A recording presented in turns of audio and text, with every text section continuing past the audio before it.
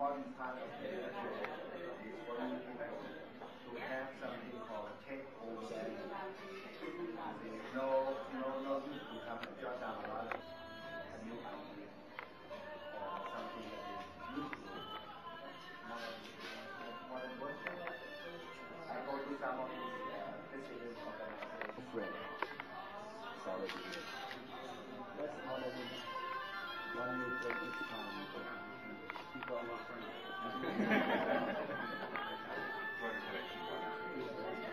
So you're going to the US, you? Yeah. You've got to go to the US.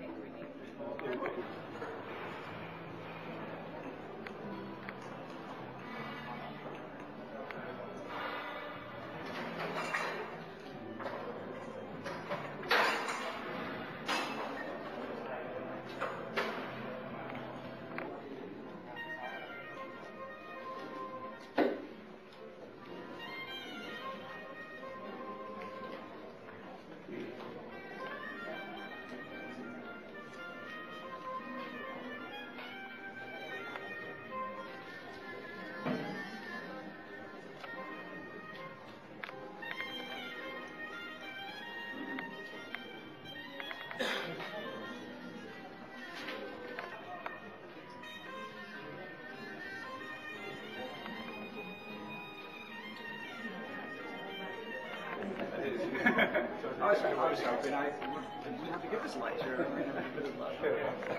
so you made it. So any time. Yeah. Okay, so you're, you're doing you're no. you're biology. Were no boundaries. and and you're no, I'm working I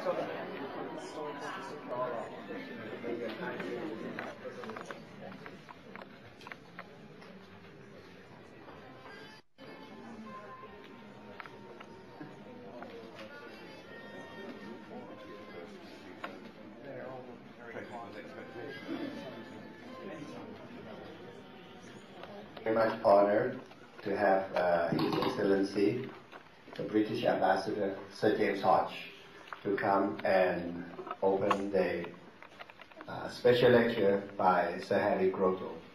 Sir James, please.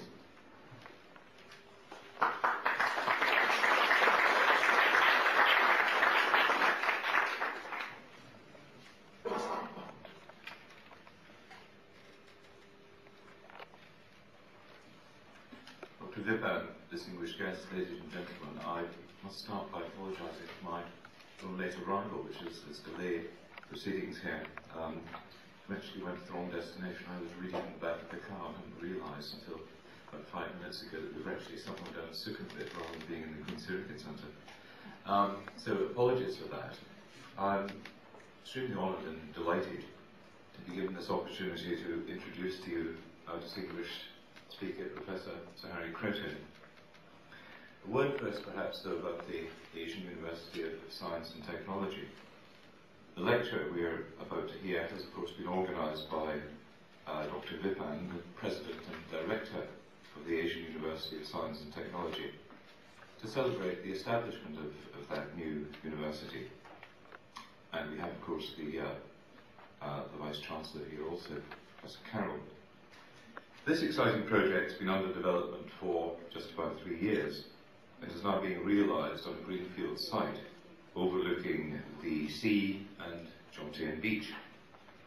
I think the site's been extremely well chosen, about 120 kilometres from Bangkok and within easy striking distance of the main urban and industrial areas of the eastern seaboard industrial development zone.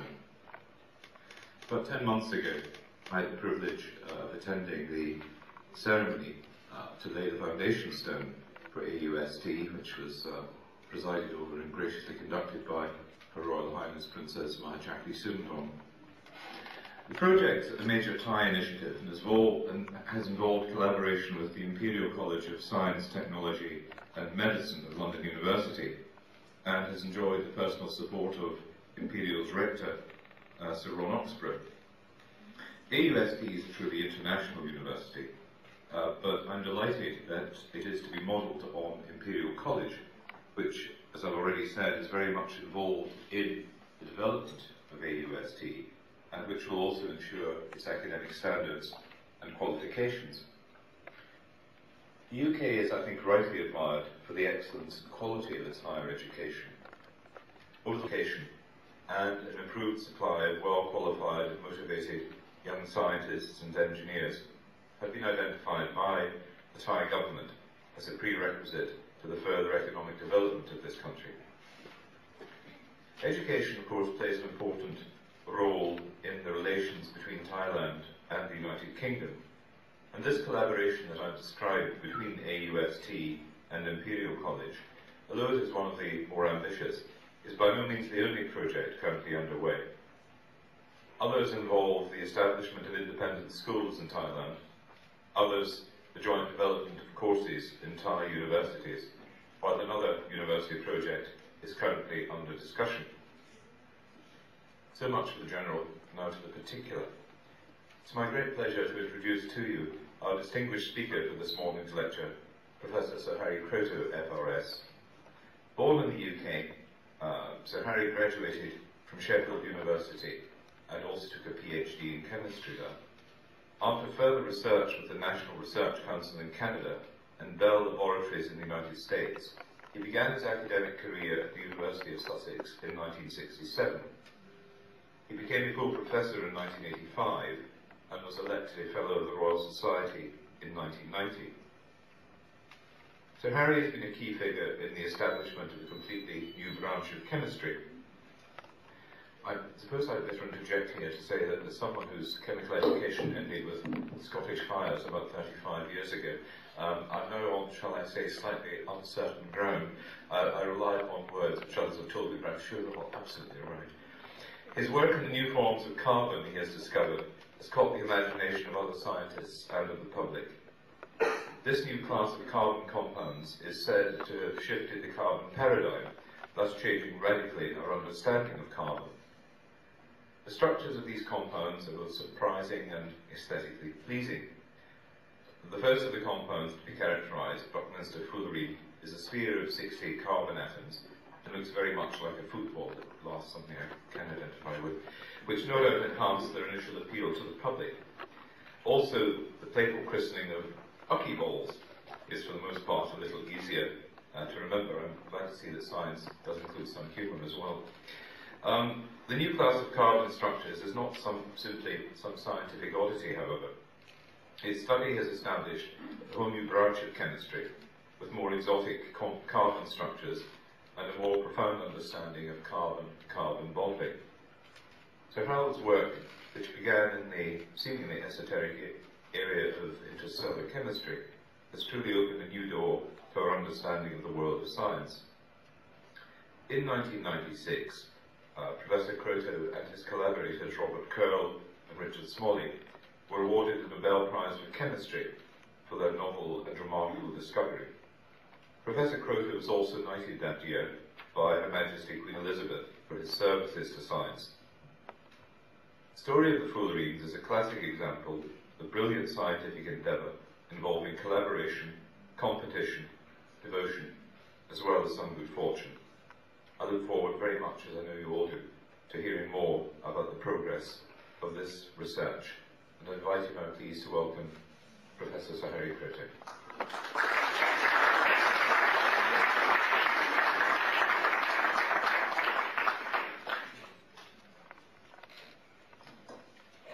Well, I, I hope you can hear me. Can you hear me at the back?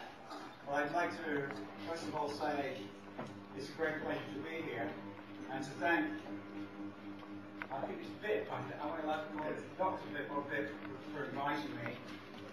Had a fantastic time. I've never had quite such tremendous uh, reception and uh, it's, it's been wonderful to be here. Uh, and I thank you, Bill Carroll.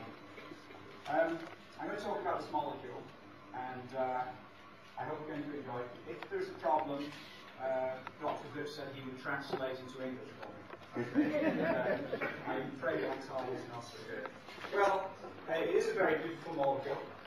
And I on, you know, yes, yes, there are What about the back? No, there's a some deprived, deprived the back here. Let me just say, this is Dr. Bronowski playing with his grandchild. And uh, is it possible to have the lights a little bit down at the front? Just a little bit? Down the front? So you can see a bit better.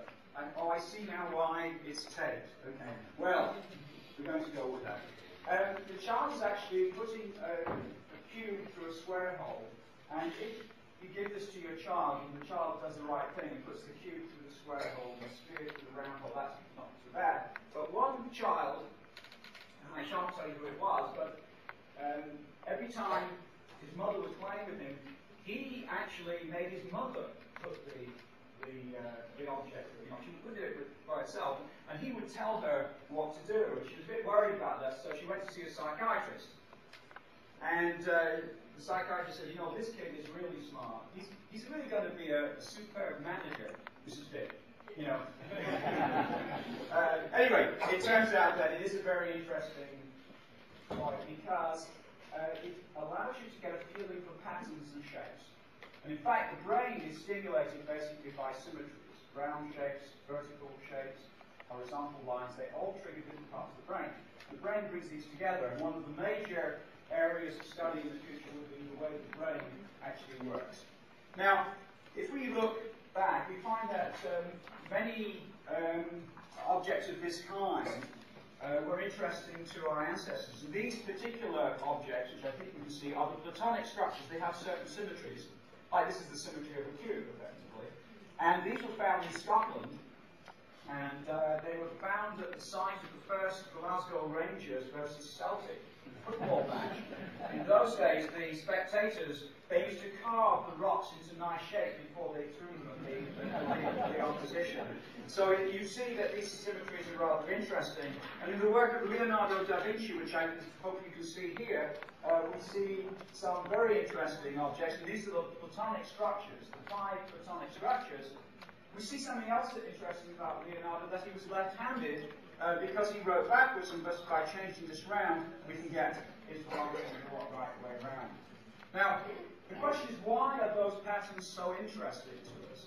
It's, it's an important aspect, and we, we find also in the work of Piero della Francesca, a wonderful artist. We find this soccer ball. It's quite clear now why the Italians so good at football. They've been playing around with this thing since the 15th and 16th century. And Leonardo da Vinci drew this absolutely wonderful picture of a truncated icosahedron.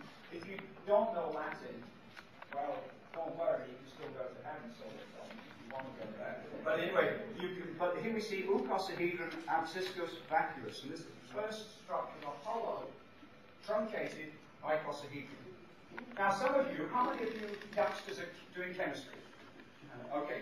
Well, let me tell you that you probably haven't got the right chemistry book because this is the original chemistry book, and in there you will find the following statement, which is that in the first place, it is clear to everyone that fire, earth, water, and air are bodies, and all bodies are solids, and all solids again are bounded by surfaces, and all rectilinear surfaces are composed of triangles. From that principle, Plato devised the periodic table of the Greeks. And we had five elements. Chemistry was simpler in those days, only five elements. Um, and they were earth, fire, water, and air.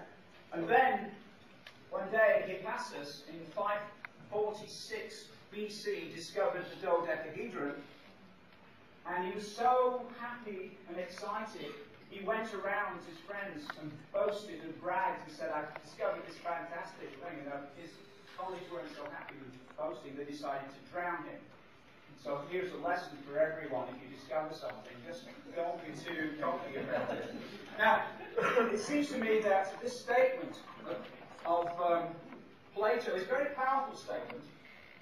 And when I became a, a spectroscopist, I found something, and the work of Van Vleck. Now, Van Vleck is basically one of the major scientists of this century, and it says here Practically everyone knows that the components of total angular momentum of the molecule relative to x, y, z fixed in space satisfy, satisfy the computational relationship of this form. Now, I was in Chiang Mai and I went to the night bazaar and I asked everybody at the night bazaar whether they knew this. and not a single person knew that this was So I thought, well, if Van Vleck says this, I better learn. Because by the time I finish, you will really understand this. Anyway, if you want to understand this, angular momentum is what essentially Newton understood in, to try to interpret the way that Halley's comet came back. Okay? If you want to understand the way the electron moves around the nucleus, then you have to go into this. You know, the reason I show you this is because I think it's beautiful. When I walk around Bangkok and see the script, I think it's just beautiful You see the writing. Somehow, in our writing is our culture. And in this beautiful page is, is Dirac's treatment of angular momentum. And if you go through this calculation, which took me a long time, and I couldn't do it for, until I, I learned a fair amount of mathematics, it tells you how a photon interacts with matter. It tells us how light from the sun is emitted and how it is absorbed by the eye. It is how it bounces up with this, which is the angular momentum rules. And a very simple one is that j, when j is 0, there are two j plus 1 components. So this number gives you, put j to 0 equal here, we get 1. If you put 1 into this, we get 3. If we put 2 into this, we get 5. And then we end up with 1, 3, and 5, which is, for chemists, the periodic table. And deep down in there is symmetry. The symmetry of the cube, symmetry of an icosahedron, the symmetry So ultimately, symmetry is basic not only to science, not only to chemistry, but also to poetry, to music, to the way we see. And somehow that's the reason why this molecule somehow is so beautiful. It's about as symmetric as you can get. And so I, I wanted that to be the start of what I would like to say. Now, my lecture is in three parts. And if there's anything you want to understand, then you go to translate, and um, I'm happy. So the first part will be an introduction, and that's the first part of the introduction. Now, on the basis of that, you end up with a pattern like this, which is a design that I did many years ago for a conference. Now, those of you who are chemists would recognize that as a periodic table. And okay, it's in focus. Um, and this is um, if you showed that pattern to someone on another planet, on the other side of the galaxy, if they had done chemistry, they would recognize it. They don't need to know the language. And so in this, we see the language of chemistry. And it would be not only international, but intergalactic. Because if they'd done chemistry, they would look at that pattern and they would realize these are the patterns of the elements. Okay? So I want to now just mention that because I'll come back to that. That the science, that science has its language. And to understand it, you have to learn the language. In some cases, symbolism, in other cases, mathematics. Right. I'd like now to go. dangerous. Let me take my jacket off as well. Okay. Anyone who knows me knows that I can't. I never end up. I don't usually take all my clothes off during lecture, but usually take some of them off. Um, let me. I guess Professor Kroto would like to show another symmetry. Yeah, I mean, uh, Vip and I have been sharing jokes all weekend. Okay. Uh, uh, let me go now to chemistry. And I think it's important as we reach the 21st century to realize that the youngsters here have got some problems to solve. And they've got to be smarter than we, are, we were, right?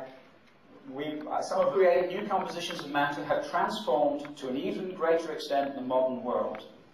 New metals, plastics, composites, textiles, adhesive, coatings, rubbers, insulators, conductors, semiconductors, superconductors, optical fibers, detergents, ceramics.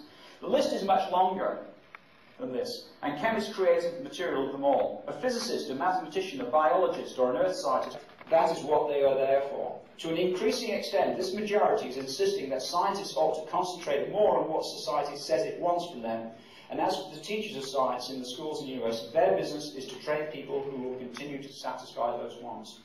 That's a very dangerous statement because culture is deeper than training. And if the culture and the education comes first, the training comes automatically. It must be seen in that way.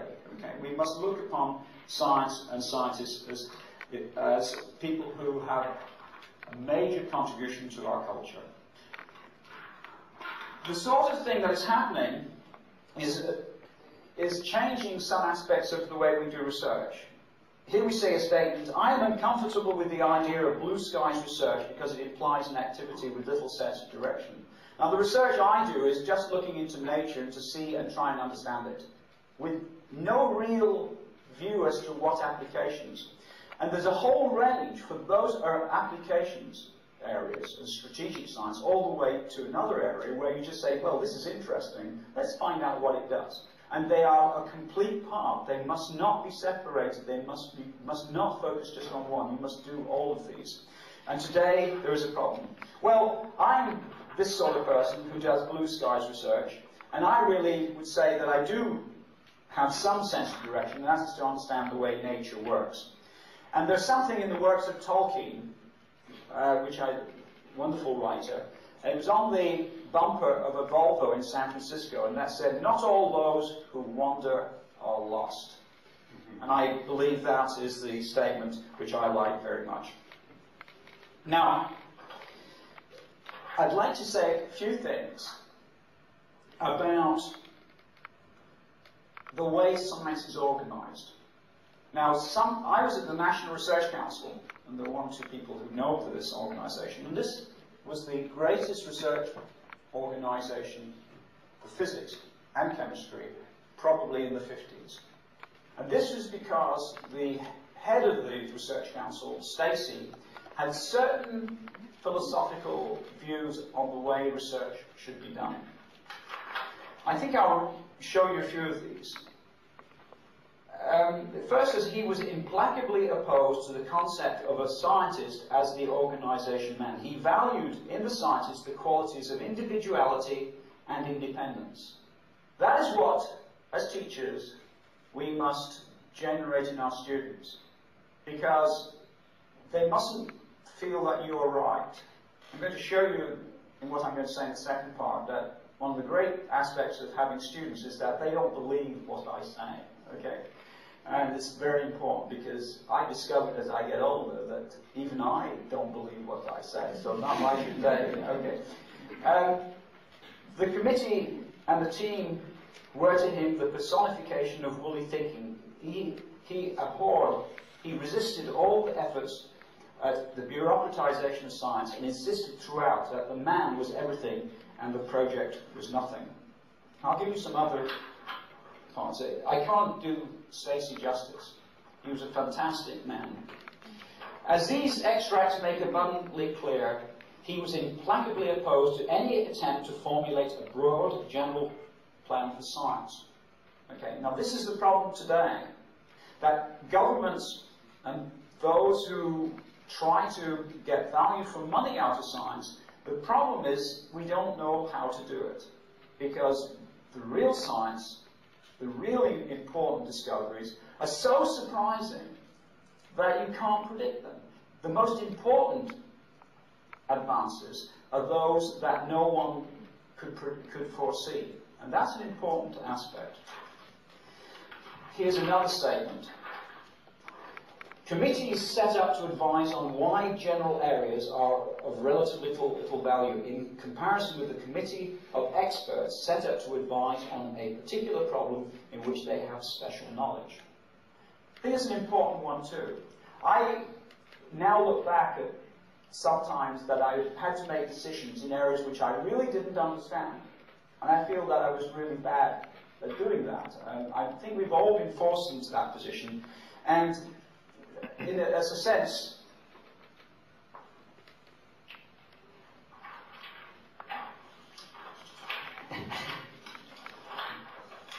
okay, I bet, don't worry. Making sure I get to my next lecture without being in disorder. I think it's important to realize that um, you really have to know what you're talking about before you give advice. And you may not particularly you may not give very good advice, but at least you know something about the subject, okay? The worst thing is people who think that they understand science, know nothing, and formulate plans about it. And we'll come to that a little bit later. His article of faith, his articles of faith were that scientific establishments should be run by scientists, and that the organizations must be made to fit the man, and never the man the organization and above all, that administrative considerations must never be allowed to dominate. Now, this has changed because as money has got tighter, it's been much more difficult for governments to allow scientists the freedom to follow those areas that they want themselves, which do not appear to have some direct benefit for society. And we'll come to one or two arguments of that kind, as I say, a little bit later. Polanyi, uh, this is the father of John Polanyi. Michael Polanyi uh, was at Manchester, a, a brilliant scientist, his son uh, also. Like Polanyi, he believed in the spontaneous coordination of independent initiatives and the exercise of those informal mechanisms which traditionally have been used by academies, the scientific meeting and the expert committee. I like this, the spontaneous coordination of independent initiatives, because the discovery of C60, which is really the reason that I'm here, was one such spontaneous initiative, as you, as you shall see. Now, what I would like to do is finish this major introduction with what I think is an example of the sort of research that I think is becoming much more difficult to do at the present time. And yet I think all of us will see it as being one of the greatest contributions to society of recent years. Here is an actual and far more typical case. Some people decided to examine the effect of an electric field on living cells. They generated this field between two platinum surfaces immersed in a liquid culture medium. The cells died, but the people who did the experiment were real scientists who resisted the obvious conclusion and found that the cells were not being killed by the electric field, but poisoned by tiny traces of dissolved platinum. They mentioned their finding to a colleague, who looked for and found a stronger effect in cancer cells. A search in the chemical literature for soluble compounds of platinum turned up a substance that had been made nearly 100 years ago by a chemist in another country whose interest was simply to explore platinum chemistry. Platinum chemistry was very difficult. But that's what scientists are. They said, this is difficult, I'm going to solve, I'm going to look into this, okay? This compound was even more effective against cancer cells. In the event, a large number of people are alive today who would be dead, but for the constructive but unfocused curiosity of several scientists, separated by discipline, nation, and time. The factors combined in this success were curiosity, skepticism, good communication, and publication of results. Together, these produced an outcome that nobody predicted or expected, and that is the essence of research. But it has always been difficult to persuade those who finance research that predictable results are worthless and that the best hope is to employ the team that makes the vital connections between other people's results and sometimes their own. Now, let me give you another example, one that you're all familiar with. In 1870, Reinitzer was looking at a liquid, and he noticed that when light passed through it, there was a problem. It, it, as you shake water, there's no problem. But if you shake some compounds, you see a shimmering effect, something like the way that light is um, refracted as it passes through the air over the surface of a hot road. And that was the start of an understanding of liquid crystals. From there, at that time, there was not a very good understanding of molecules. From 1870, people started to understand how George Gray developed the compounds that we see now in these, in these displays. What had to happen for that to occur? Well, one thing, you had to have microprocessors, transistors, materials, an understanding of molecules, synthesis of compounds of a particular kind, the synthesis of molecules that could be oriented in the electric field, and the development of batteries. So over a period of 100 years from the origins of a project, we said, gee, what's going on in here? Looking at blue skies through this liquid, to today, that was a type of research where we see it took 100 years for that original research to bear fruit. My view is at the present time that we must safeguard in parts of our universities the research carried out by youngsters who are brilliant, but are not the sort of person that can tell them what to do. They just have a fascination and a curiosity with the behavior of materials. And out of that, they're particularly interested in something no one else might be interested in, but they develop an understanding, and maybe 10, 20, 30 years later, there is some major application of that study. Okay? So that's, I think, the first part of my presentation. Uh, I want you to think about it. And the next part, I'll talk about my, my research. Now, if you wanted to make some comments on... Uh, the comment is coffee break. So, so that everybody can have a chance to digest what you have just introduced, and then we'll go to the meat of the matter. Uh, เชิญ coffee break ครับ กระ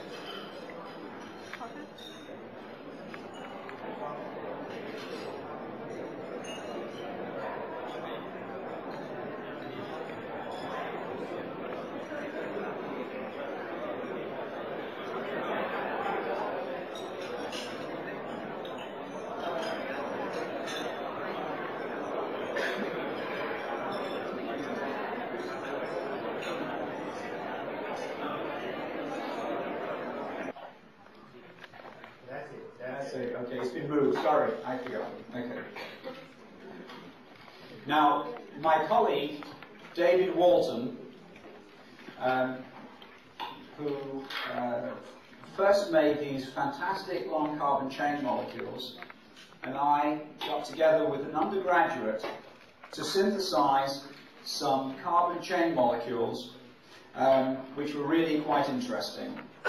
Uh, I really can't go through this. It was quite complicated, but the synthesis uh, was interesting, but also what we call the spectroscopy was interesting. I'll just show you a picture of this. I don't expect you to analyze it, but here we'll see the molecular formula for a molecule with five carbon atoms. That was synthesized by an undergraduate at the University of Sussex in the mid 70s. And then uh, radio astronomy became very important, and it was possible by using a radio telescope to look in the space between the stars and show that space between the stars was not empty. It was full of molecules.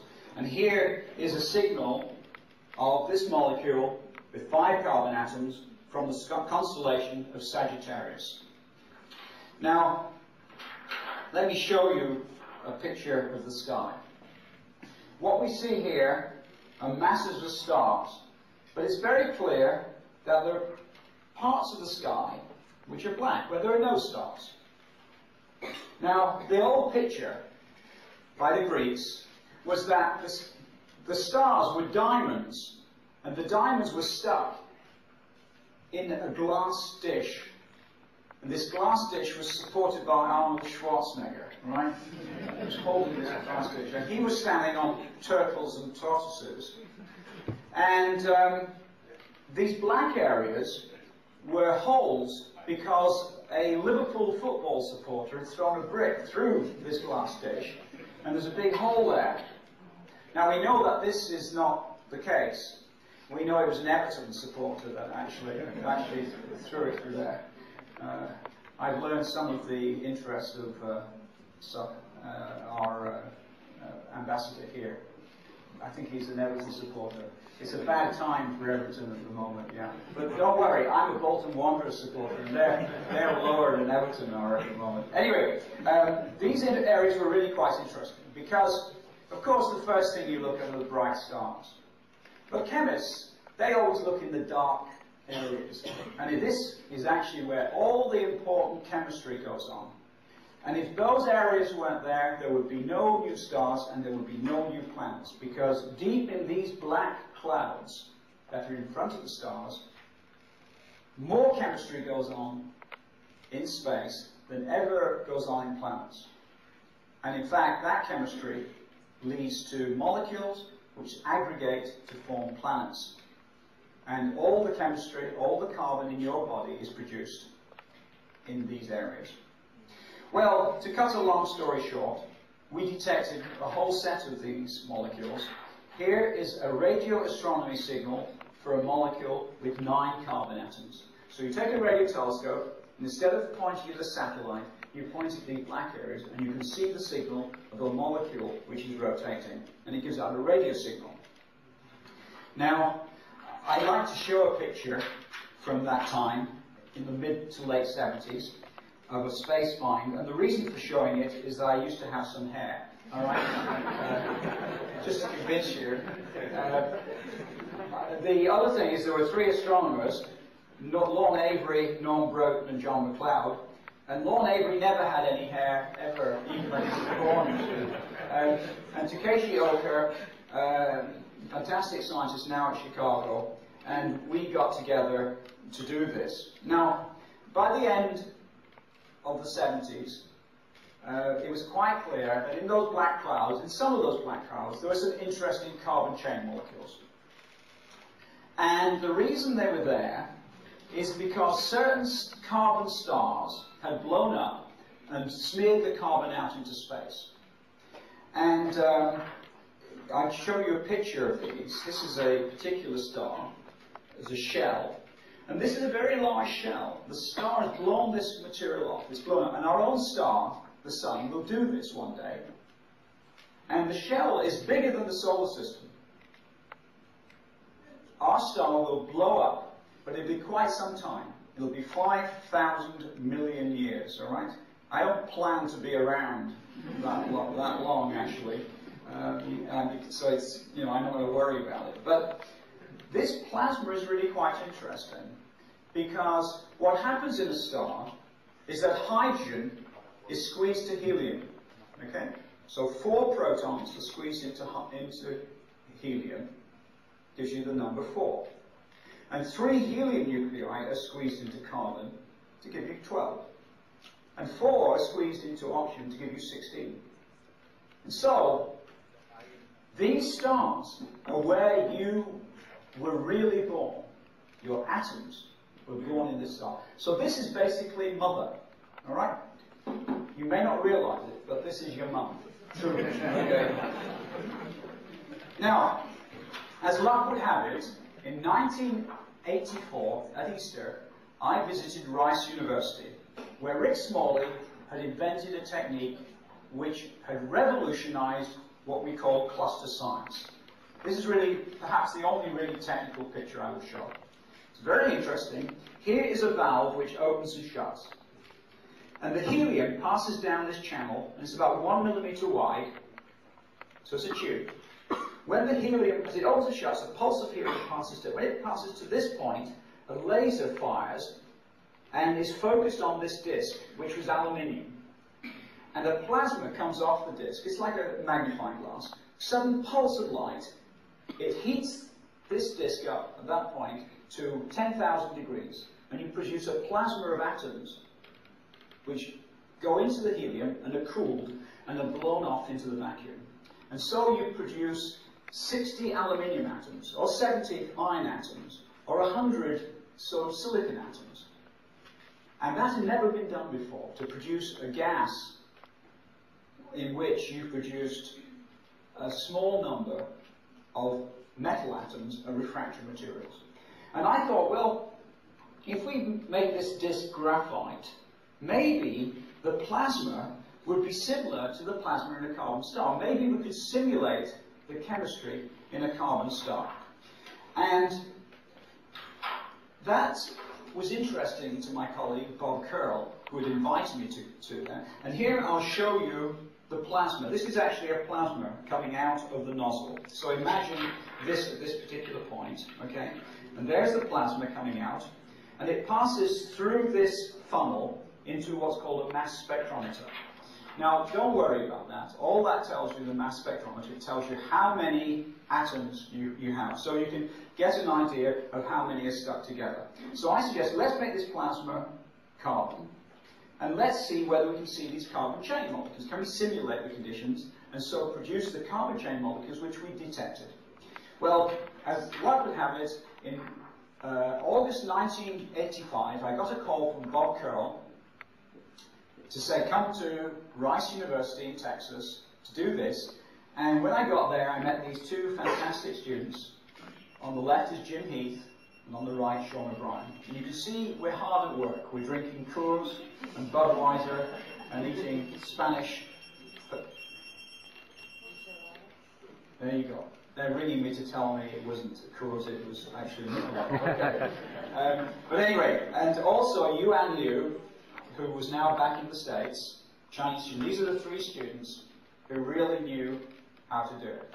Now, one thing you students will realize when you do research is that you do all the work and the professor puts his feet up and sits there and takes all the glory. Okay, I'm sorry, that's the way it is. Anyway, but then when you become professors, you take over and you get your own back. Okay, now, let me just say that here is the wonderful result that we obtained um, on the 4th of September 1985. It's nothing very difficult. This is signal here, which I hope you can see, is the signal. It says this is a species with 10 carbon atoms. We just count it 10, 11, 12, 13, 14. Okay. Now, here we see six carbon atoms. Okay. That's a well-known structure. Any chemist physicists, even some physicists would know this. even some ambassadors would know that this is benzene, okay? And the point about it is, that's how we would expect carbon to actually be constructed. So we look through this, but we don't see the number six, okay? Because that's the conventional picture. What we discovered, to our great surprise, and to everybody's surprise, is that here, you can count it up, okay? So 10, 11, 12, 13, 14, 15, 15, 19, 23. And these we get to around 30s, and then we get to 60. This was a signal which was off scale. There was something special about the number 60 for carbon. Now, if you look in the textbooks, this is the picture of graphite. And it's hexagons. It's sheet of hexagons like this. So if we'd seen six, that would been good. Now, also, just to show you that not only I had noticed this, but the students as well, because they were smart students, they'd seen it as well. I hope you can see this. C60 and C70 are very strong. These are all three students. C60 is very large, and why C60? They've been writing in their book. And here's another lesson. If you see something, write it up. Because one day it might be important, and this was an important page. Now then, I was staying with my friend Bob Curl, and this is the floor of his washroom. Okay? now, it's a very important floor because every morning I would sit and look at this floor and say, what is so important about it? And we see the number six is important. But we look at this, and here, if we look at this, the number six is nothing in there. Okay? So that's something wrong. And we're like that child in that first picture, right? We've got something. We've got to try and fit it into a pattern. Well, to cut a long story short, we thought that somehow it might be a sheet of hexagons like this, which is what graphite is. Something like that. A big sheet which had curved into a dome like this picture from Montreal. And if you look, you can see this. You see the sixes? Somehow Buckminster Fuller had turned this into a cage.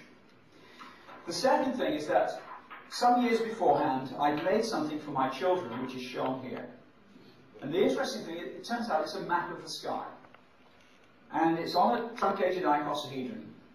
And this was back home, and I thinking, well, shall I call Margaret up? But it's, you know, like 3 o'clock in the morning.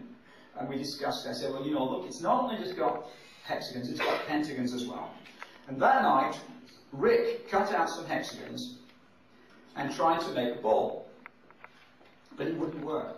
And then he remembered that I said, well, you know, there are pentagons as well. And once he cut out some pentagons, something very interesting happens. And I'm going to show you what happens here. Uh, if you put these and put a pentagon in there, okay, and now join that up like this, you can see what happens is the sheet starts to curve. Okay? And that's a fundamental law of topology and mathematics. Okay? You cannot close a sheet of hexagons without some other structures. And if you have pentagons, it turns out you need 12. And 5 times 12 is 60. And so you get the magic of the soccer ball. And the next morning, Rick came in with this picture here, this beautiful model, and it was the same structure, and it was right. And we were so excited. Well, the question now is what to, what should we call it? Well, I told them we must call it after Buckminster Fuller and call it Buckminsterfullerene. Now, I don't know whether this is difficult to say in time, okay? I know it's not so easy in all languages, but it's very easy in English. And you may not like the name, but if you don't like the name, you do have an alternative. And it's the IUPAC name, which is shown here. Okay? now, I understand there's a IUPAC conference going on, and you're here, and they're there. All right? So, I'm sure we're having a better time because they're having to memorize formulae like this, and we're just having to be able to say Buckminsterfullerene. Okay, well, what I would like to show is this picture of the football team. In the middle is Bob Curl, Rick Smalley, myself, and of course the two students who did most of the work. We get the prize, and they just, you know, they have to suffer a little bit, right? But there you go. They've got some really good jobs. Jim is a professor now at UCLA, and Sean is working for Texas Instruments, making the best conductors. Right, that's the story up to 1985. A little bit of the story. It's a serendipity as far as I'm concerned. Serendipity is you discover something which you didn't expect, and it's a nice, nice thing. However, it would have been discovered. It's not a serendipity for science because it would have been discovered within a year. It's very fortunate that I was involved. I believe that Rick's apparatus would have uncovered C60 within a year. It was very fortunate that I, Rick, and Bob and the students actually were involved in this beautiful discovery. The question now was how to prove it. Because we just got the number six, Steve, and we said this is it. Well, I can't go into it, it's a long story between 1985 and 1990. But suffice it to say that we made a simple carbon arc with two carbon rods and you put a welder across it. We've got a local school and 14, 15 and 16 year old kids are doing this now. It's amazing. Very straightforward. And we put a bell jar across the top and put argon in here. And we studied this and I made a fundamental error. And that was, I thought C60 would be formed, but I thought it would be in such small amounts that I would need the most sensitive apparatus to detect it, a mass spectrometer. Turns out it was bit, I'd already been, we'd been making it in 1 to 5% yield. Just shows you, you can never predict these things. But as luck would have it, uh, about three, four years later, working with Jonathan Hare, who's shown here. There's the carbon arc, there's the bell jar. One or two other things have happened. We discovered that there was an interesting result by a group by Kretschmer and Huffman. I'll come to them in a minute. Fantastic piece of work. But one day, Jonathan put this on my desk. He put a little red solution. And I looked at this red solution and said, this is pure graphite. And it's soluble. It's almost impossible to believe. Now, if you had a diamond ring and you're washing something up and it dissolves away, you would be pretty irritated, right?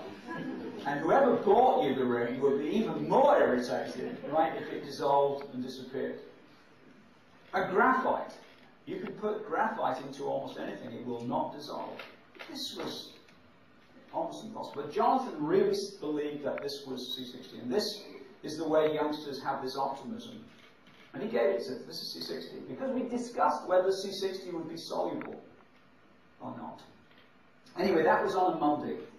And I thought, well, maybe, but we must be very careful. And then, on the Thursday, we tried to do some NMR to show that it was C60. Now, the interesting thing about this molecule, let me tell you, how many of you know about magnetic resonance? Put your hands up if you know something about magnetic resonance. Well, some of you know about magnetic resonance imaging, right? Which can whole body imaging. But magnetic resonance is, has a deeper picture because it's nuclear magnetic resonance, and every atom is equivalent, and therefore, in what's called the magnetic resonance spectrum, there should be a single peak. If you had a molecule with two types of carbon atoms, it would have two peaks. And if it had three different carbon, it would have three peaks. But this amazing molecule, they're all the same, and so it just have just a single peak. So we tried that, but we didn't get a result. The next day, I got a call from Nature. That's the journal. And uh, they. Uh, pretty good, okay, right. They, they, this is on Friday, and uh, they said, uh, would you referee a paper by Kretschmer? And Kretschmer and Huffman had done a very, very interesting piece of work a few months, well, maybe six months, or was published six months earlier, and had got us back on track to, to, to look again at our results because their results implied they'd seen something interesting. Well, that was Friday morning. At 12.05 on Friday came this by the fax. Solid C60, a new form of carbon. And this paper was bad news because in there there was a fantastic picture. These were crystals of C60. It turns out that if you just let this solution evaporate away, you get crystals. All you need to do is take a carbon arc, put a welder across it, under argon, collect the soot, put the soot in benzene, let the soot evaporate off, and you get these beautiful pictures. I believe this is one of the most important pictures of chemistry and materials of the 20th century. It was a fantastic paper. I rang up after lunch and told the editor to accept this paper. It's a wonderful paper. Congratulate Kretschmer. And I, well, it wasn't, it was before I thought, you know, I said, you know, well, what should I do? Should I commit suicide? because it wasn't, you know, here was a resolution, they got it there. Or should I go for lunch? Now, there are one or two people who've been at Sussex and they know that there's not a lot of difference between doing Going seriously and going for lunch. You know. uh, and uh, because that's the same at any British university, you know. Uh, But I've had Thai food. It's not the same here in Russia. It's no doubt about it. Um, anyway, I later thought what to do about this. And um, there's a red solution. It was a fantastic paper. And I think that had the, it, the Nobel Prize could only go to three people. I feel extremely fortunate. I'm a good scientist, and there's some fantastic scientists who will never win the prize, okay? Um, but Kretschmer and Huffman did a fantastic job. The more I look at what they did with their students, the more admiration I have for them. And I think if it could have gone to more people, could have gone to five, I'm sure they would have been co-winners. Anyway, as, uh, as it happens in the afternoon, think what to do now, but we had actually extracted it. And I thought, well, maybe we can get the NMR spectrum. We could just recoup a little bit. We could come in second. And coming second to that paper is really something worthwhile. And my colleague, Roger Taylor, said he would help us. And he discovered that if you take the red solution, participate down a chromatographic column, which you can do again in schools, it separates into two solutions, one magenta and one red. And the magenta solution gives a single line NMR spectrum, and the red solution gives a five line spectrum of a molecule with seven carbon atoms. Now it turns out that a couple of these overheads are not there, but that was it. They, this was the crucial thing. It was possible to make enough C60 to do the NMR, and now we work with it.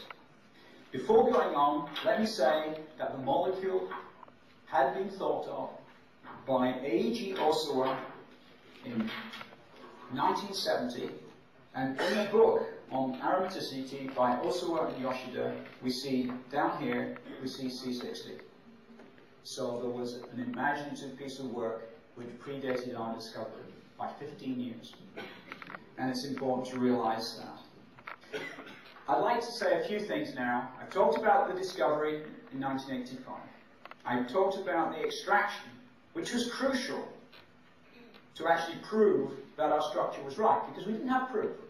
It was circumstantial. We, we just believed it to be right. It's so beautiful. I remember thinking, well, it doesn't matter whether it's right or wrong. Everybody would love it, you know. And they do. But I thought we'd better be right as well. I mean, it was. Uh, now, let me give you a few uh, pointers about the chemistry. The chemistry is very interesting. What we can see here is the NMR spectrum of this molecule, which is C60Cl6. You can add groups to it. In the case of chlorine, you can add four of those, uh, six, six chlorine atoms.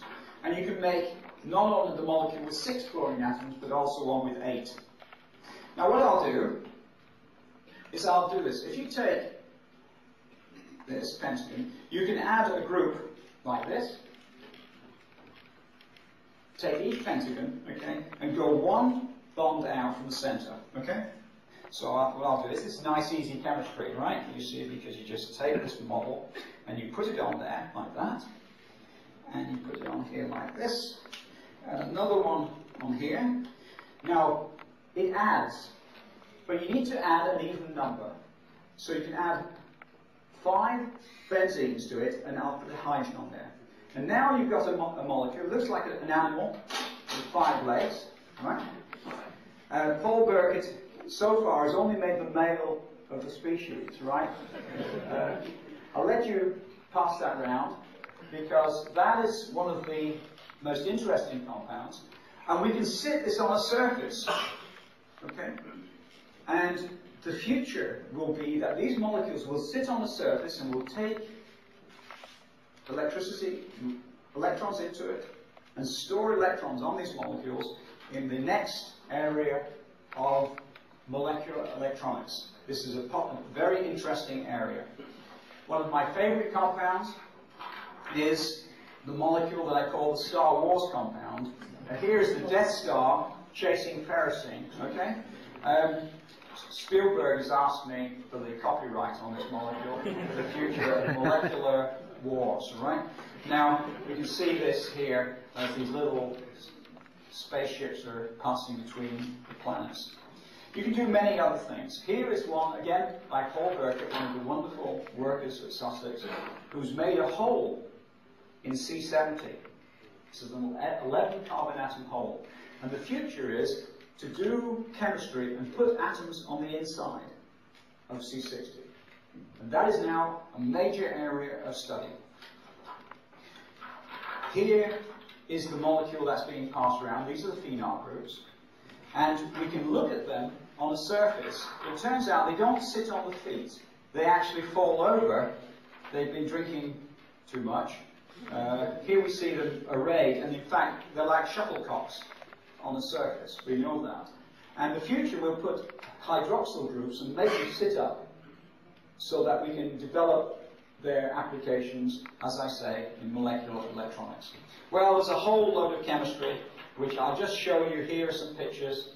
There are now something like 13 to 14,000 papers on C60. They're running now at something like 2,000 a year. And it's still increasing. That is the synthetic chemistry, and at Sussex we have a, a Fullerene Science Centre, which David Walton is the director, um, and we not only do that, but we do what's called nanotechnology, and I would like to now spend a few minutes talking about that area, um, which is another, another book, number three. We're going to do about you know another five hours. I've got plenty more books here, so don't, don't worry. But I'll just talk a little bit about this because what I'd like to show you is that here is a carbon arc, and if you run the carbon arc, but don't look at what comes off it, but look at the cathode, there is a growth on the cathode here, it's, a, it's 7 millimeters across. It's almost like a pie, hard crust. If you scrape out the center and look with an electron microscope, what you get is a structure like this. Now this is a graphite tube. The images under the electron microscope um, look like this. And it's, you see just the edge. Okay, so it's looking just through the edge. With the electron microscope, it passes through, and you only see the position around the edge where the atoms are lined up. Okay? And these were observed first by Sumio Iijima at NEC. And here is a picture of the nanotube. Now, I called these a Zeppelin when I first Students are the same all over the world. Now, it's very interesting because Buckminster Fuller had actually designed not only the domes, but also these tubes. So it's very nice that these are called Bucky tubes. Well, I don't want to go into too much detail, but you can make these in many ways, nice and I have some wonderful students who have actually made these things. And here we see, it, I mean, it looks like a, a spaghetti, right? And uh, but we want to actually um, make these so that they're straight. So I wanted to grow these out of a substrate, and what we got was this. And we, this doesn't look too good. We, I want them straight. And one of the students, Mauricio, said, well, why don't we do it upside down? And then they will hang down, and they'll grow straighter. I said, oh no, gravity, no. But you see, the good thing about my students, they don't think any notice at all, you know, and they do what they want. And believe it or not, they do hang down straighter. There you see. So, the one thing about students is that nine times out of ten, the professor's right. But The tenth time, they're right, and that's the crucial time. And the most important thing is to have students who basically don't believe anything you tell them, right?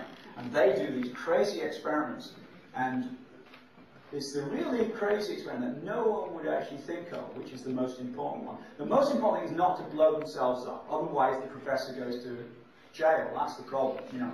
But uh, so just make sure you don't do anything that crazy. Right, um, there are a lot of things I would like to say, um, but I, I, don't have the time. I think um, I'll, I'll, mention one particular experiment, which is Wen Kuang Hsu from Taiwan.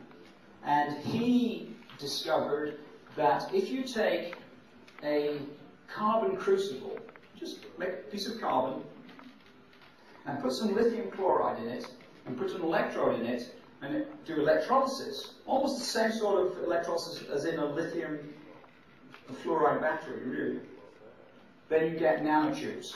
So these tubes form, here are these things, and they're quite long and they're quite beautiful.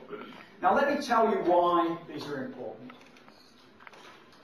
These nanotubes are something like a hundred times smaller than modern carbon fibers. A mosquito has the advantage of scale. So if you take a mosquito and it carries a lump of sugar on its back, it's equivalent of a tank.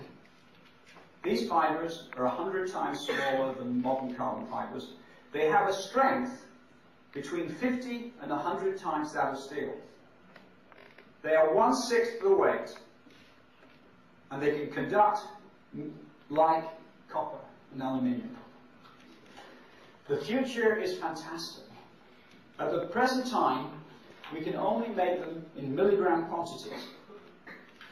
Let me show you an important picture. Jonathan Hare, a wonderful student working with me, has pointed out, and this is a nice picture, I call this Hare's ratio. It's the last fundamental constant in the, of physics. The ratio of the size of C60 to a soccer ball is the same as the soccer ball to the Earth. It's a factor of basically 10 to the 8th, or 1 over 100 million. Not only that, if you make these with bends, you can make like these apparently behave like electrical switches. Not only that, they bend like tubes. If you've ever had a bicycle and you've fallen off it, or an elephant fell off it and you went to this thing, then it bends. Okay? So does the elephant's trunk, as I discovered from Chiang Mai. Now the interesting thing is, if you look at this, here we see that under the electron microscope, this thing bends.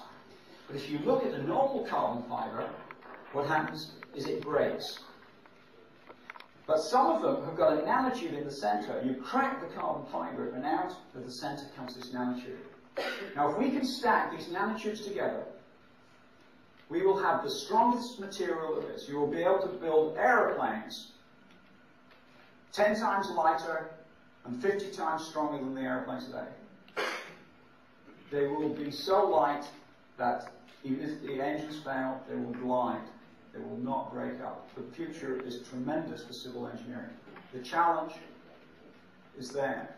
We can possibly build skyscrapers that will not fall down, and bridges that will not fall down in earthquakes. The civil engineering is a tremendously exciting possibility. However, can we do it? I don't know the answer to that. But there's some youngsters there who I know are going to solve this problem. But I tell you one thing, it's too hard for me. You've got to be, you're, I'm sure that all you guys and all and those I met earlier are going to be much smarter than we are. It's a very exciting time, and I'm looking forward to surviving that long. Here are some of Buckminster Fuller's patents. You can see he's got them there. And I'm going to finish now with something which I think is important. How many here had what we call Meccano?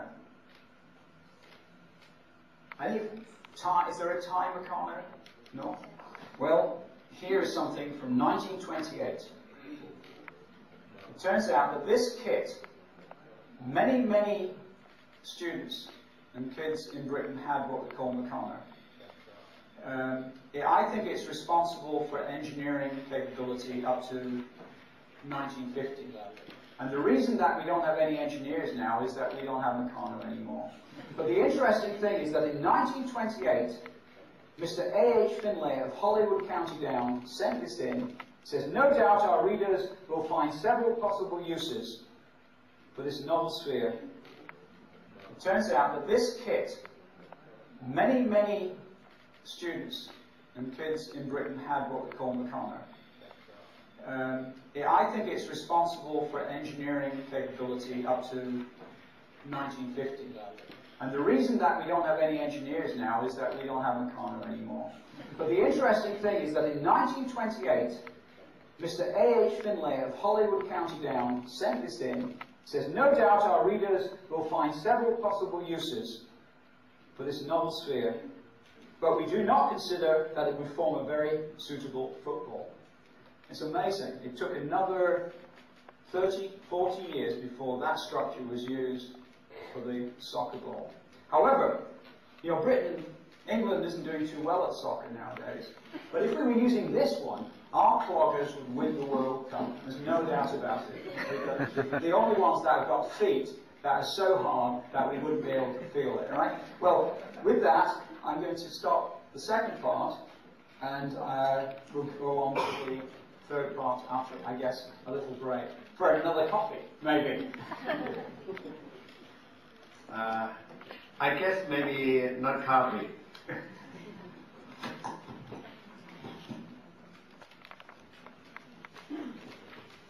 I think uh, it's so interesting that many uh, listeners here probably would have a lot of questions to ask.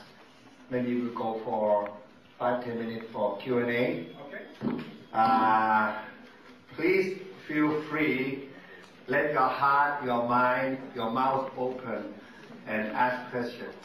I always say to many of my friends, the person who asks the right question is a smart person. So, Buddha asked himself why people get old, get sick, and die, and then he became enlightened. So ask yourself another question. Maybe you can win the next Nobel Prize. So go ahead, please. You can ask either in Thai or White is wrapped into a tube. And here we see that it's uh, essentially a helical conformation. There are two different structures. One's called the zigzag structure. If you took a sheet of graphite and turned it into a, a tube, and an armchair structure, and these two will have different electrical properties. These are very interesting, and a lot of interest in the possibility of using these in nanoscale switches in molecular electronics. And also, the, the most recent studies are fascinating. These are quantum conductors. These are, these are carbon wires, um, and they're smaller than any metal wire is likely to be because the metal doesn't hold together. We might, and uh, there's one here. We can make nanotubes which are actually helical. And this is very interesting because in the future we might be able to make, um, I'm not sure I can find it, but we, there are some structures in which we can actually make the carbon tube or carbon uh, fiber, which is already wrapped as a multiple helix. We can get double helices and triple helices, but we can't control it. We discovered that they form, they self-assemble, and there may be a catalytic particle involved. And if we can discover the mechanism of that self-assembly, then I think we'll have a way to make incredibly strong fibers. Okay. But um, again, this is a problem for the youngsters. They're engineers. There are seven engineers, I think, here, and they're all going to solve this problem, right?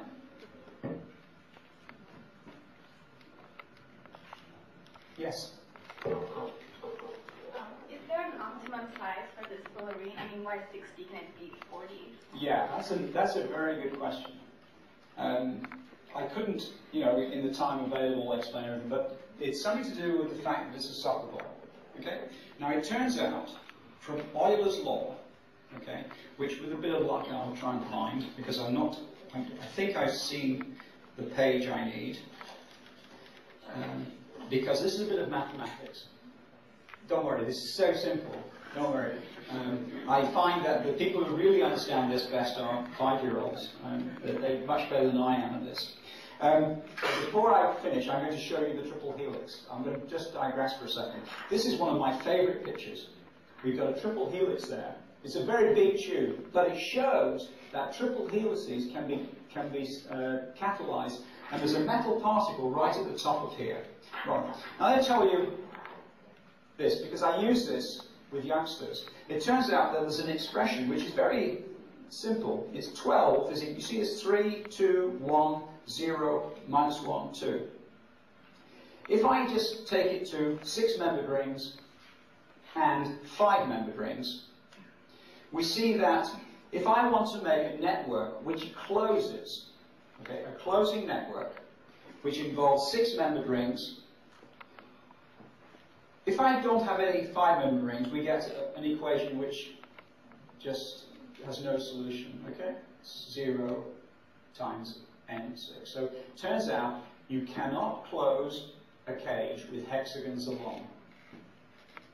If you take the Euler expression and you allow pentagons, then 0 times this, disappears, and the number of five-membered rings is 12. And you think, ha, 5 times 12 is 60. So the first structure with pentagons along that can close is the dodecahedron, okay, which is Hippasus discovered that. That is 12 pentagons. And they're all together. Now, if you're a chemist, and there are many chemists here, they know that it's very hard to put two pentagons together. Two hexagons together gives you naturally. Two pentagons together, that's a very rare compound. So the secret is to put 12 pentagons together so they're, but they're not side by side. If you then have a system which has 12 pentagons, and none of, none of them are what we call abutting, or side by side, I think you can see the first solution is C60, because they're all separated, because then you must have 12 pentagons, none of them are side by side, and so 5 times 12 is 60. The first time that Euler's law is satisfied, and all the pentagons are separated, is for C60. You get it? I don't think that, that's all there is to it. And so it's the first structure which is stable according to our known organic chemistry, and that satisfies all Euler's law. There are those small ones, and I believe we've seen them, but they are extremely unstable, and you cannot isolate them. They appear in what we call the beam, but then they grow into C60, which is the first stable. Is that okay? That's the best I can do, and I may not be right, but it's just, it, that's the present thinking on that. So it's a very good question. And a nice example of simple topology. Okay? I guess the scientist's father was a watchmaker. 60 seconds makes a minute. yes, uh, it's uh, right. Next question. Yeah.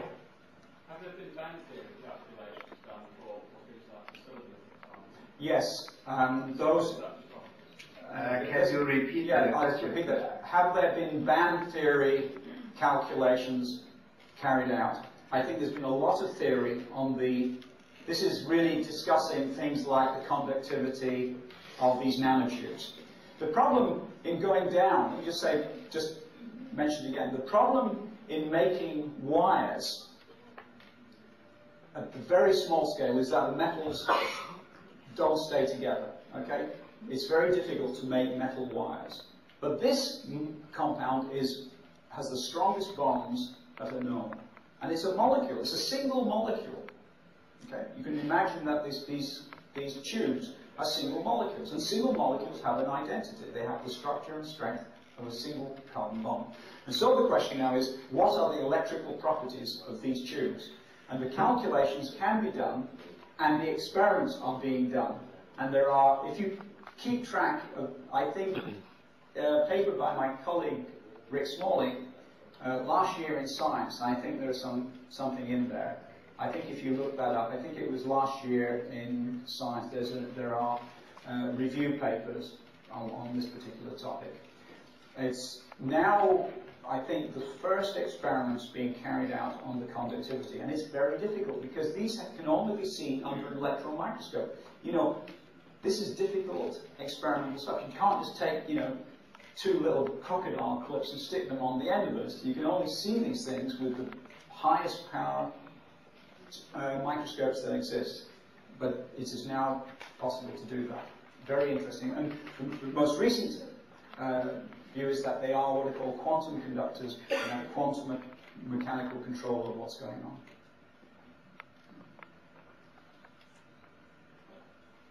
Should we go on?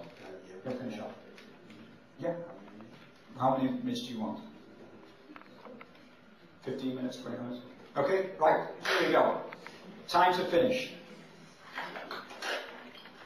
I'm going to now finish off with some things which I think are, uh, I think are as important as the discovery of C60, but also as important of, as what I said before. I've got another two hours here, but BIP's like I'm only allowed 10 minutes or 15 minutes, so I'll do it very quickly. Let me say a couple of things, and these are important. Um, this is what was in a newspaper, uh, 93. Accountants should not run British industry. My belief is they shouldn't run any industry. It shows here companies run by people with scientific or technological qualifications do better than those run by accountants and financiers. This is the key finding from an investigation of 700 companies in Britain during 1990 by two economists the University of Warwick. Many UK corporations are headed by chartered accountants. This strikes me as very curious. I do not believe they should be at the helm of British industry. I agree with that. Because science is a culture, and to understand what you are doing, you do need to be an engineer or a scientist and technologist. The second problem is this one. Can scientists shake off their mad media image? Okay. Now, I actually, I cut my hair before I came out to Thailand, you know.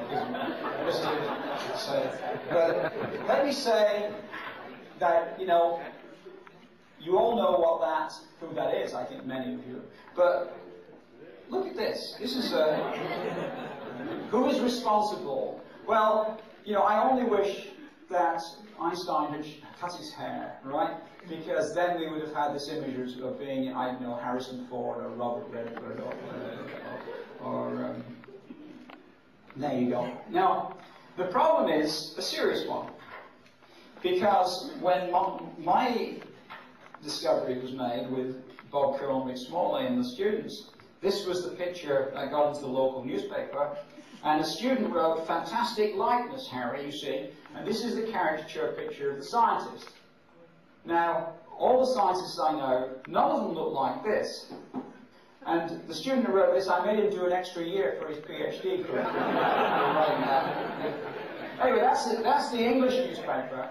It turns out I was in Spain earlier in the year, and when I was uh, in fact, uh, Naomi Campbell was, was over here. They didn't show her on that particular picture. Um, now, however, joking apart, I think this is a problem that faces us.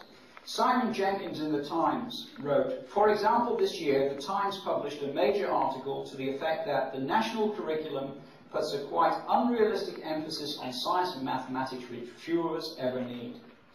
Now, I think that's the most dangerous uh, statement I've ever seen made. Because I'm sure that every time that person walks into a room and switches on the light, he doesn't realize that he's using basically science and technology. That is really bad because our, our society today is so dependent on science and technology, and that decisions are being made in which science and technology is being used injudiciously. It is absolutely vital that everyone is educated at least 50% in science and technology so that our governments and our civil servants and our uh, people who make decisions throughout the whole of society have an understanding of the way that materials, physics, biology is shaping the society in which we live. give you an example. When we discovered the molecules in space, it came into the local newspapers, life's key may lie among the stars. And a student wrote that showbiz underneath. I made him do two years extra for his PhD for writing that. Uh, but anyway, it, it was in here and it said that they have discovered proof that there are organic chemicals in some of the vast dust clouds between the stars. Here, the chemicals were discovered thanks to Canadian work in radio astrology. Okay. That's the way it is in the newspaper. Now, the reason for showing you this is that science is a culture. I believe it's the dominant culture of the 20th century. And all culture has language. And let me tell you something about language. I'll start off with English, because it's really the only language I understand reasonably well, and it's hard for me to. I thought I, I, it's one of my favorite statements recently. Although chemists were at the time limited by the timescale of flash lamps available, a race to study faster and faster reaction was, was just beginning. At a Faraday discussion meeting in Birmingham in 1954, called The Study of Fast Reactions, the German scientist Manfred Eigen asked the Oxford Don, Ronnie Bell, how the English language would describe reactions which were fast and fast. Ronnie Bell said, damn fast reactions, Manfred. and if they get faster than that, the English language will not fail you. You can call them damn fast reactions indeed. now let me just tell you something. I come to, to Thailand, it's pretty hot, right? And I think it's pretty good because it's damn hot here. And I'm told that in this, when it gets really hot, it's damn hot indeed, right? So this is very good. Now, the reason of showing you this is that language is crucial. If I want to understand Thai literature, I will have to understand Thai. Uh, I haven't got any Thai, but I thought I would show you this. Now, there may be some who can read this. Uh, this actually is Kroto in, in Japanese, but it means expert in, in Chinese characters. Okay, so uh, Yang Zhu is working with me, another super postdoc at the moment, said, I asked Yang Zhu to write this, and this is basically the hear no evil, speak no evil, see no evil. It's something that's in English as well. Now it turns out in Japanese, this is maybe readable to some. These are kanji characters. And it turns out that the three monkeys, the three is the symbol, hear no evil, speak no evil, see no evil. But in Japanese, saru, the second part, has a phonetic, or Japan, or China, or Britain. You have to learn the language. Now the same is true of science. And I will show a picture that any chemist will look at and say is one of the most beautiful molecules is benzene. It's the pivotal molecule in chemistry. If I say to an Englishman Hamlet, they will realize that that is a crucial, pivotal play, piece of literature, of English literature. It means as much to English literature as this molecule means to the whole of chemistry. This is an international language, however. The true international group of people are scientists. Because they look at that, and I, they know what that is. You don't have to translate it. Now, the reason to, of saying that is that I think, I think what hits most is are jokes. Now, let me tell you this. This is a, a complex equation, but it turns out that even young children know how to solve that equation because this is what they have to do to cross the road. Okay? That's the equation. And I tell you, if you don't, if you don't know how to do that in Bangkok, you've got a real problem. now, let me show you another one, and I'm sure that not all of you will get this, but I hope that one day you will. John Maynard Smith was an aeronautical engineer. And Vic, you will love this one. Because Vic is but there are only there are two great joke tellers. Vic's one of them, a Croatian friend of mine. They're two. They should, I'm going to get these two together because they will be non-stop joke tellers all night for 24 hours at least. Anyway, it turns out this is a true story. John Maynard Smith is one of our most eminent evolutionary biologists. He started off as an aeronautical engineer, and then moved into uh, evolutionary biology. You don't have to stay in engineering. You can move. That's the most important. To cross the boundaries. Don't say I'm going to be an engineer. I want to be. You want to be everything. Anyway, he had to write an article, and the article was asked. The, the, the editor said, "Look, don't put any equations in this article." So anyway, he wrote it, and he finally decided he had to write this equation in. And the editor looked at this and said, "You've got an equation in." I told you not to write any. And John said, yes, but I have to have this one. So the editor said, hmm, well, okay. You can have it, but you've got to simplify it by cross-multiplying the d's. now that is the thing that I tell you. The thing that hits deep at culture is the joke, right? If you understand the humor, if you understand that, you understand science. Now, I'd like to say a couple of things. The first thing is, with regard to C60, it's a beautiful molecule. But we should have known. We're pretty stupid, we chemists, right? Because here's a tortoise, okay? It knew that it had to have pentagons in there. Because if it didn't have a pentagon at the back, it would have a flat shell, right? And be bloody drafty up the backside, right? Not only that, here is a fly. It's an Australian fly, an Australian fly. Bill, right? You see this one? Let go away, alright? Anyway, this fly, it's actually turned out that Jeff Goldblum was working as a postdoc for me, and he got stuck in the in the in the uh, electrodes, and he came out looking like this. Now then, what we see is the fly has eyes. Here's the hexagon, but it has to close. It has to have 12 pentagons, and if you look, sure enough, you'll find pentagons there, okay, and one here.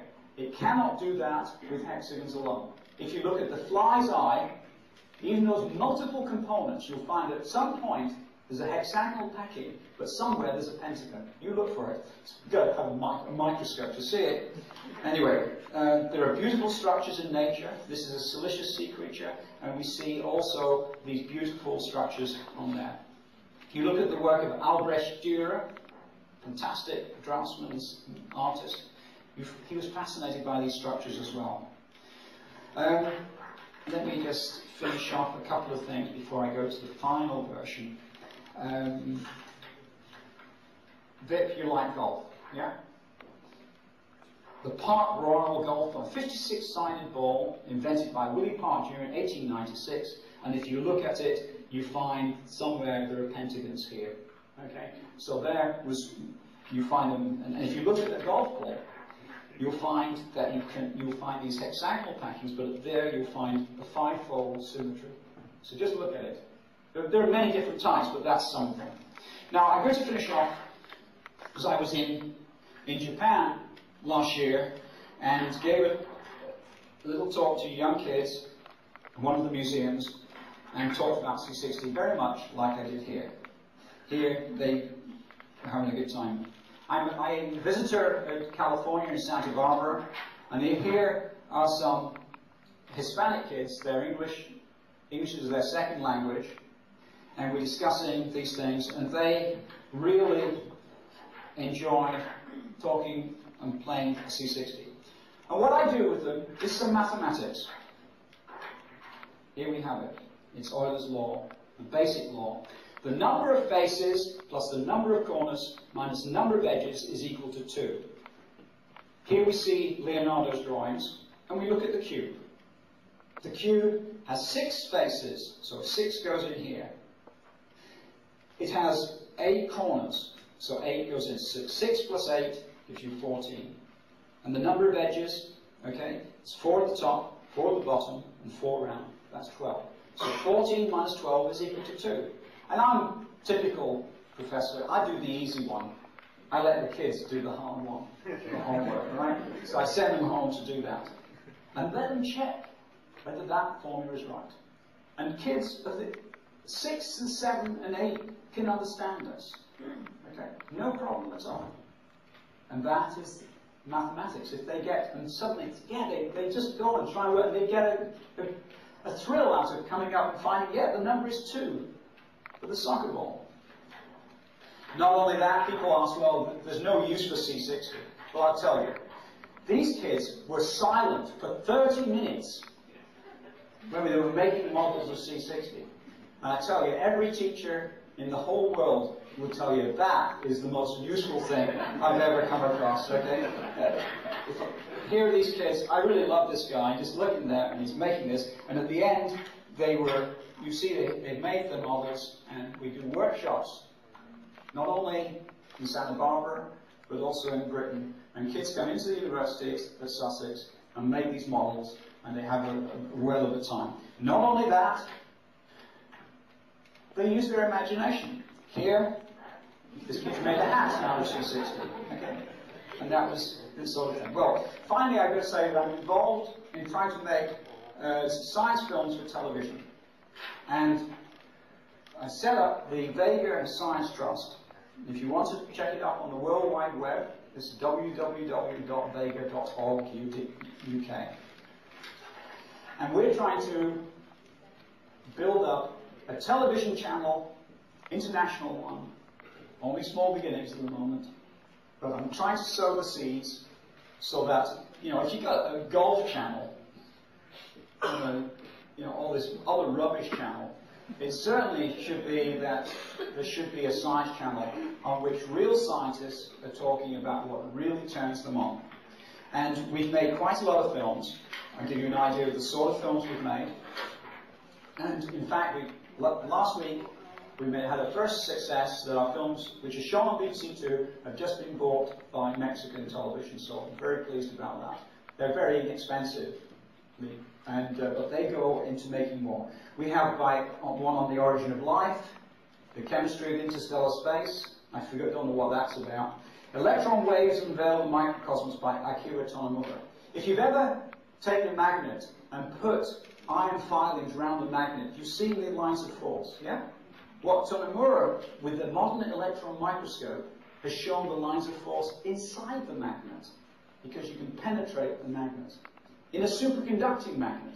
And it's, the pictures are like tornadoes moving through the magnet. It's fantastic moving images.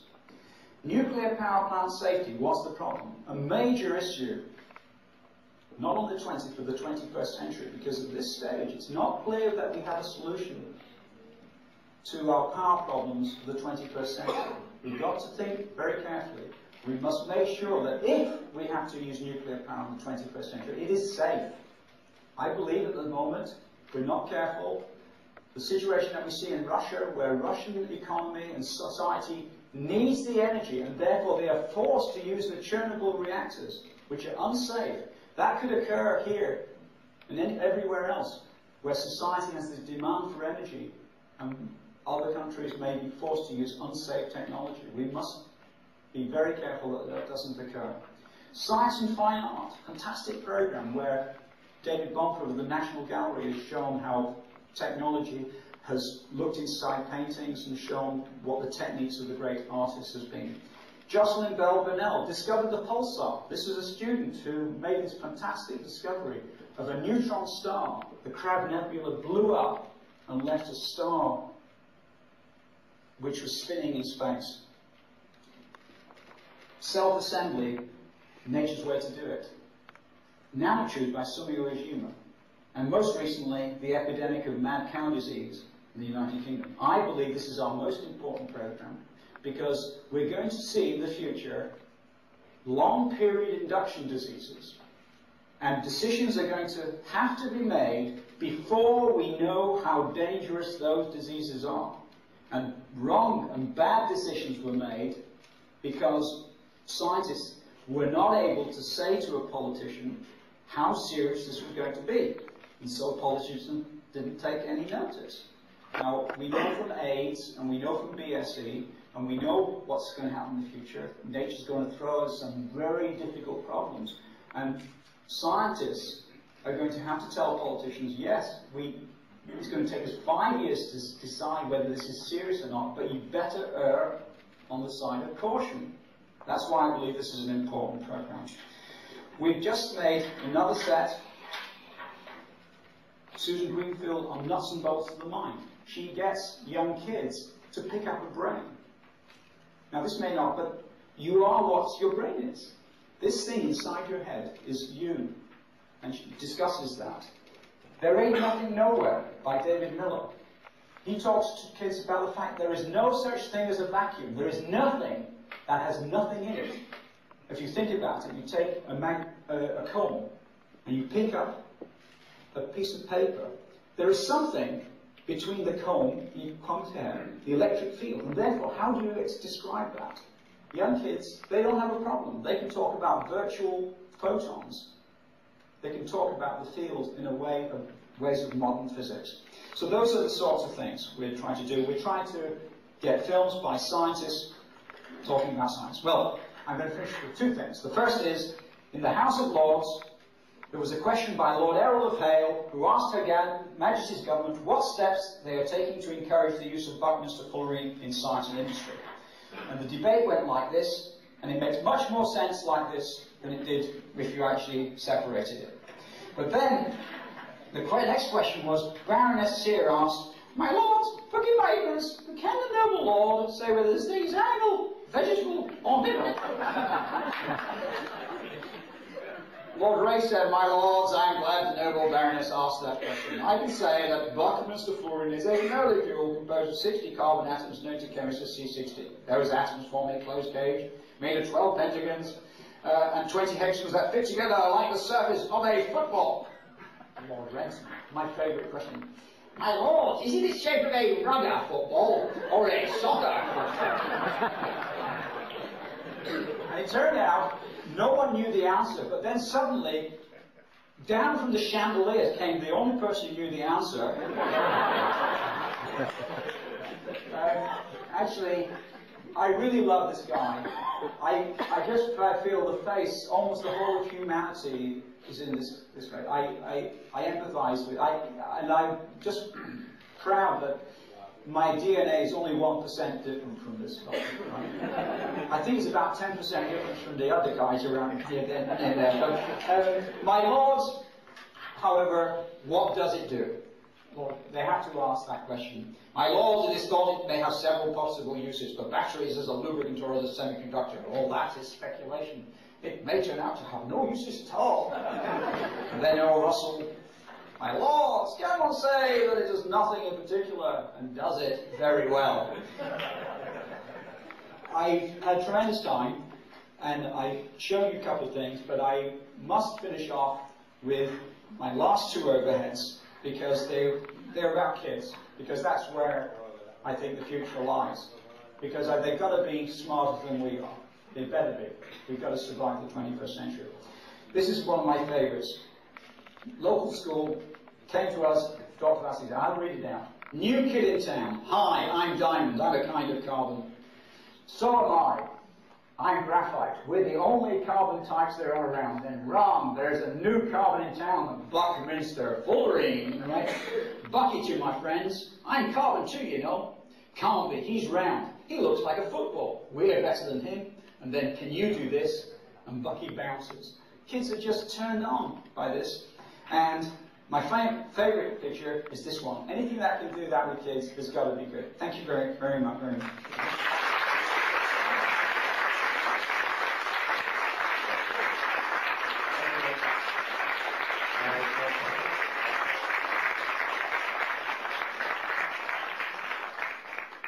I guess all of us are very fortunate that Sir Harry Kroto uh, giving us his special lecture and bring something out of space down on Earth and make it simple enough so that we can understand. And uh, as for your information, Sir Harry's been asked to lecture around the world in all the famous institutions, and he has been booked up to the year 2000. So today we are very lucky that he can be here and give his lecture to all of us. Let's give him another big hand.